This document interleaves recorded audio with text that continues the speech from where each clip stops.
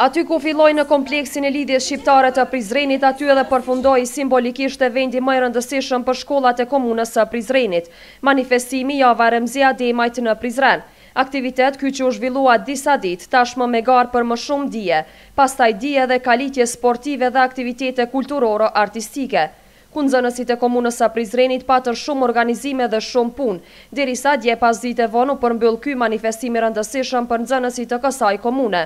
Fillimisht, drejtori i DKA-së ka falënderuar të gjithë ata që i ndihmuan këtij manifestimi, e sidomos udhëheqësit e shkollave dhe nxënësit. Prioritetet e Drejtorisë Komunale të Arsimit në Prizren mbi të gjitha janë siguria,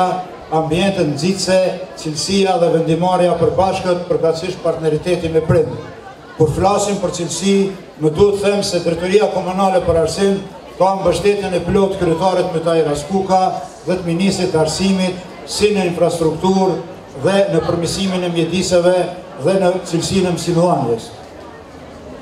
DKA do të hartojë instrumentet e vlerësimit të performancës së shkollave, shkollat të cilat do të performojnë me nivele të mira,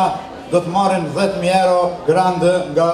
Komuna e Prizrenit, përkatësisht nga Drejtoria Komunale për Arsim. Gjithashtu Drejtoria Komunale për Arsim do të mbështetë fuqishëm edhe studentët dhe nxënësit e dalluar dhe në vitin 2019 ne do të dyfishojmë shumën e vlerës së bursave për këtë kategori nga pesëdhjetë mijë euro në njëqind mijë euro. Gjithashtu do të vlerësojmë dhe të shpërblejmë edhe shkollat të cilat do të krijojnë mjedise ekologjike me pesë mijë euro grant komunal. Gjithashtu me shuma të caktume të mjeteve do të shpërblejmë edhe nxënësit më të dalluar, të cilët do të dallohen në aktivitetet mësimore dhe jashtëmësimore.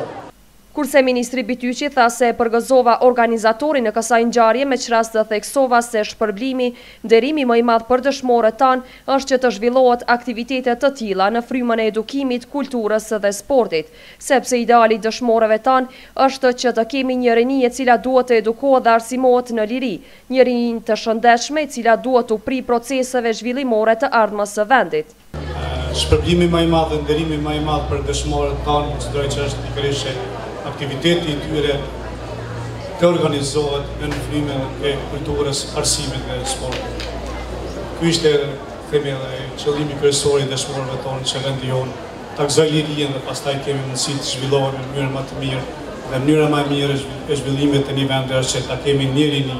të edukuar mirë dhe të shëndoshë, në mënyrë që t'i prijë proceseve të tjera që e presin në Nato. Para se të falenderoj DKA-në, drejtorin e DKA-së për një organizim kaq të madhështor të këtyre ditëve dhe një frymë garuse pozitive që ka fut në Prizren, që konsideroj që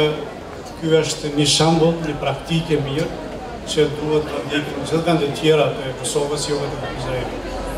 Në fakt, ne kemi qenë në një garë me Prizrenin, Ministria e Arsimit, Shkencës, Teknologjisë dhe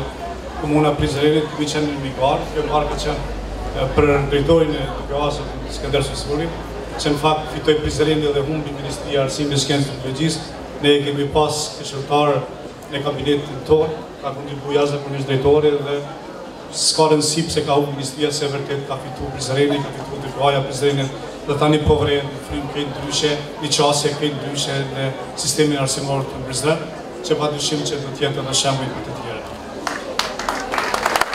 Në ceremoninë përmbyllëse të këtij manifestimi, kushtuar Dëshmorit të Kombit Remzi Ademaj, emrin e të cilit e mban Shkolla e Mesme e Lartë në Prizren, garuesve më të mirë iu ndanë mirënjohje nga Drejtoria Komunale e Arsimit në Prizren. Kurse në fund të këtij eventi u shfaq një program i pasur kulturoro-artistik, i përgatitur nga nxënësit të shkollave të Prizrenit dhe qytetit të Fierit.